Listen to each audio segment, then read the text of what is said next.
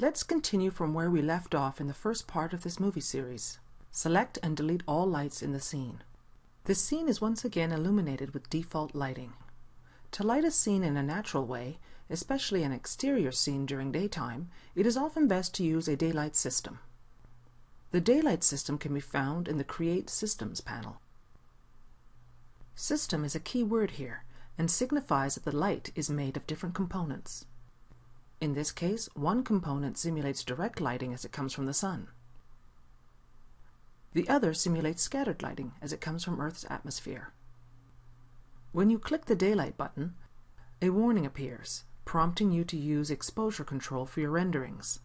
Typically, you answer yes to that. Exposure control enables you to fine-tune the lighting balance, much the same way you do when you take pictures with a camera. But more on that in a moment. You are now ready to create the daylight system. In the top view, click and drag to create a compass icon. This defines the north direction. When the compass is created, move the mouse up a bit to define the orbital scale, or sun position. Click when the sun position is clearly above the scene geometry. Next, you define parameters such as geographic positioning and time of day. You can position your scene anywhere in the world by specifying latitudes and longitudes, or simply by using the Get Location dialog. Here you can easily select a continent, a country, a city by clicking it on the map, or by choosing it from a list.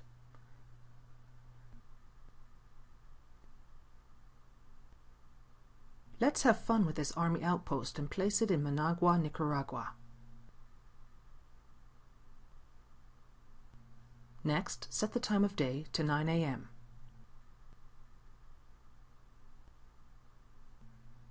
You can adjust the north direction to suit the specific orientation of your terrain, or simply because it makes the render look better. At any time, you can adjust these parameters after you've done a few test renders. In fact, you can animate most of these parameters to create shadow studies, for example. At this time, you can test render the camera view. It looks alright, but there are still things missing, such as a background. Go to the Modify panel. Notice that the daylight system's parameters are set to the standard skylight options. These lights are not much different from other standard lights we have covered, such as Omni and Direct. They do a good job of approximating and balancing lights, but are not physically accurate. Other options include MR Sun, which is the option you want to use when you use the Mental Ray Renderer. Similarly, you want to use MR Sky to simulate lighting from the atmosphere. Again, this is a Mental Ray tool and should be used only when the Mental Ray Renderer is active. When you choose this option, a dialog appears, prompting you to use the MR Physical Sky environment map. Answer yes to that. This option will display a background at render time that is based on a gradient that shifts colors depending on the time of day. Render the scene again. It looks much better, but might still require some adjustments to the light balance. Click the Environments and Effects dialog icon. Here you can see that the MR Physical Sky is in use, and that MR Photographic Exposure Control has been set to EV15 when you created the daylight system. There are two ways to adjust the light balance, either by using the exposure value, EV, or by using photographic exposure. In photographic exposure mode, you adjust values such as shutter speed, f-stop, and ISO, much like you do with a real-life camera.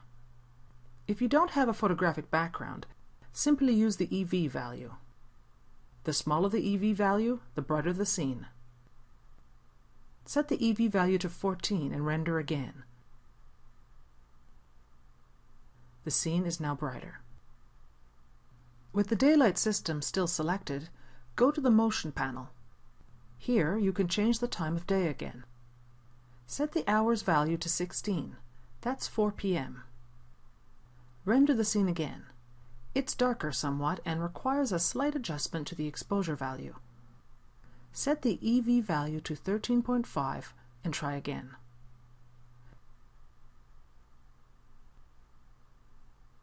Try a render at 1730. That's 5.30 p.m. If the sun is setting in the camera axis, you'll be able to see it in the render.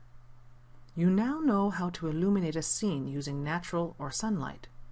In the next movie, you light the same scene with artificial or man-made lights to simulate night lighting.